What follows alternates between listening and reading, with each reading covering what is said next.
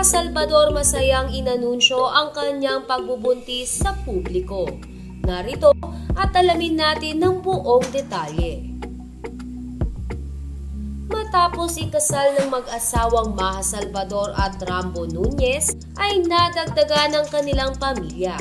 Ito nga ay matapos i-anunsyo ni Maha Salvador sa kanyang IG account ang pagbubuntis nito.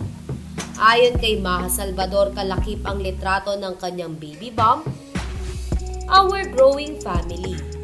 Ibinahagi din ni Rambo Nunez ang nasabing litrato nilang mag-asawa. Ayon pa kay Rambo, the best Christmas present we could ever ask for. Kagad naman na dumagsa ang congratulatory message ng kanilang mga kaibigan sa industriya.